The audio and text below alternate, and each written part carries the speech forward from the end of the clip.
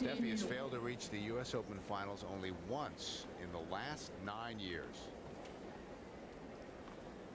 Came here as a 15-year-old, as we mentioned, in 84.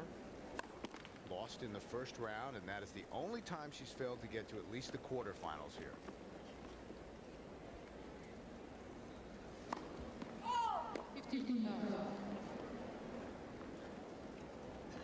Let's take a look at Steffi Graf's serve. Quite a high toss. It'll probably go out of the picture unless the cameraman follows along with her, and it does. Higher than usual. Good knee bend right here, and then propels herself up and out into the serve.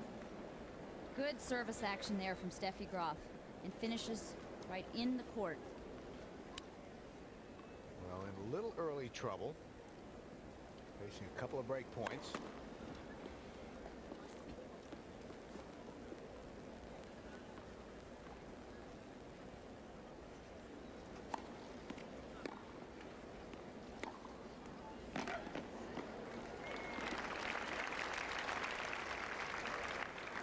Those two have played just once before. That was a couple of years ago in Berlin on the slow red clay.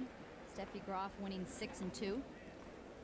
Good effort by Schwent to take Steffi to a tiebreak. Deuce. Just like that, back to deuce. Just like that because of that big serve, that huge serve, and then when she sees that her opponent